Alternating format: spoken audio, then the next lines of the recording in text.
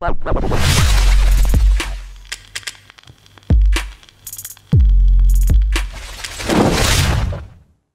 everyone, it's me Keith again. Welcome to our first Java tutorial part 1 for beginners.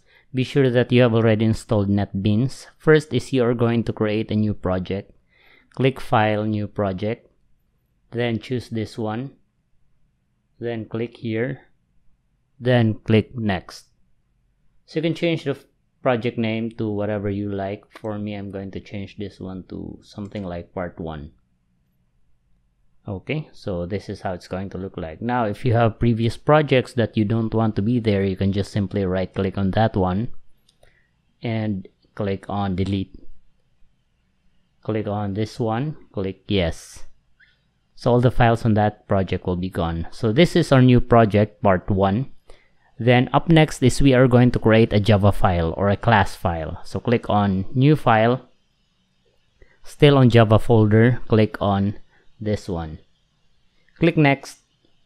Then I'm going to name this one as something like what could be the best name whatever you like you can name it so for me i'm just going to name it as basics click here there you go so this is how it's going to look like we have comments we have the public class and the name of your class. So same thing that's your file name.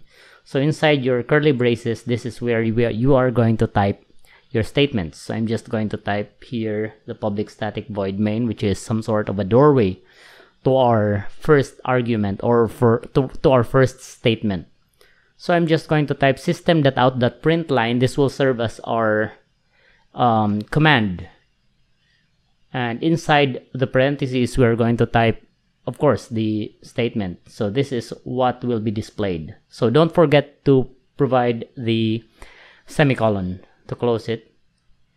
Then first I'm going to click on build since this is the first time that I'm trying to run this one.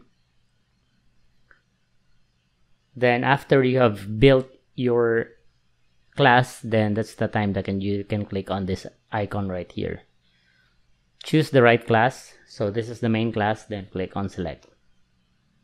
Wait for a couple of seconds and you will be able to see the result. If there are no errors then you will see build success and you will be finding this statement right here. Okay so this is the statement that we have placed here. So up next is we are going to use um, comments. So double slash or double forward slash will denote that you are creating a comment. So I'm just going to type here declaring variables. So to declare a vari variable, so you're going to type the data type, then the variable name.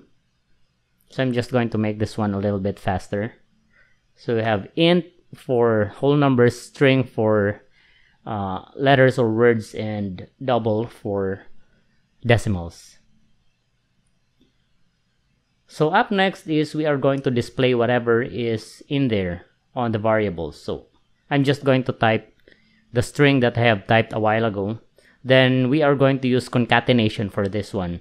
Wait, I think I need to type a comment here. So concatenate, it's like you're trying to join two different variables. So this is the name, the data type name, ah, the variable name, and let's make this one fast. Same thing you're just going to join different variables in here.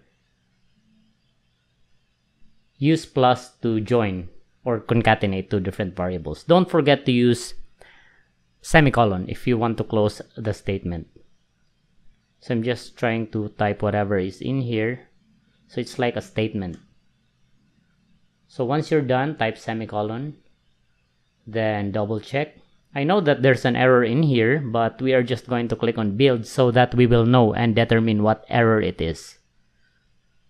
There you go. So we have an error here. This is the error. So we are going to check what the error is. And of course, the error is like we have not initialized the values of our variable. So it's like it is this displayed here that we have a variable, but we have not provided any values for those variables. So I'm just going to type um, for this one the age I think there's something wrong with age. Since it is not a string it's an integer so I'm just going to change this one to number there. Name since it's a string so I'm just going to enclose it in two double quotes. Then wait since it's a double or a number then that's it. So let's try to run it. And there you go. Now if the tutorial is quite fast you can always pause it and replay it and there you go. So that is how you are going to deal with concatenation.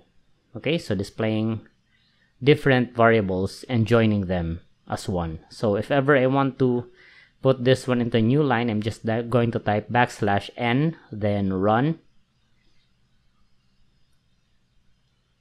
Then that's it.